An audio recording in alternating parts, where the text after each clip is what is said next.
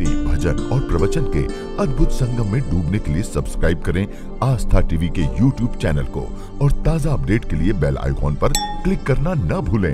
देखिए, लोगों के पास होता बहुत है, किंतु देने की इच्छा किसी किसी के मन में ही होती है। कई लोग तो महाराज इतना कमा कमा कर रखते हैं, उनसे पूछो, भैया, क्या करोगे? ले जाओगे? बोले, नहीं, हमारे बेटे उसका उपयोग करें याद रखिए धन को यदि जीते जी दान नहीं किया तो धन की दूस धन की तीन गति है दान भोग और नाश। यदि आपके पास धन ज़्यादा है आपने दान नहीं दिया तो आपके बालक भी दान नहीं करेंगे वो उसका भोग भोगेंगे। और यदि भोग भी नहीं भोग पाए तो धन की तीसरी गति है नाश। इसी कारण कहते हैं ना अपनी कमाई का दसवां हिस्सा दान में ज़रूर निकालिए। और यदि निकालोगे नहीं तो धन की दूसरी गति कौन सी है? भोग।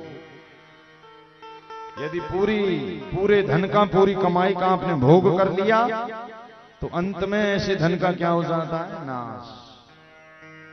कोई भी बहुमूल्य कीमती वस्तु यदि आपके पास प्रचुर मात्रा में है तो उसे समाज कल्याण के लिए दीजिए। क्योंकि आपको बताएँ हमारे द्वारा कमाए गए धन में केवल हमारा ही प्रारब्ध नहीं होता।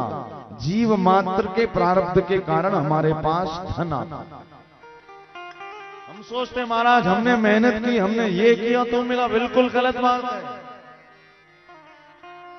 ठाकुर जी कहते हैं, जो लोग समझाने पे, बोलने पे नहीं देते, कहते ना, यदि भगवान छप्पर फाड़ के देता और उसके बाद भी दान नहीं देते हो तो जब ठाकुर जी छप्पर फाड़ के देते हैं तो कन्हैया फिर थप्पड़ मार के ले भी लेते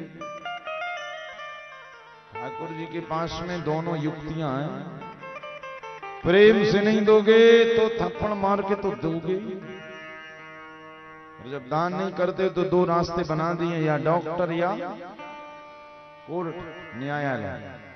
ना तो कभी डॉक्टर का पेट भरता है ना कभी वकील का भरता है। इसी कारण दानम दुर्गति नाशनम।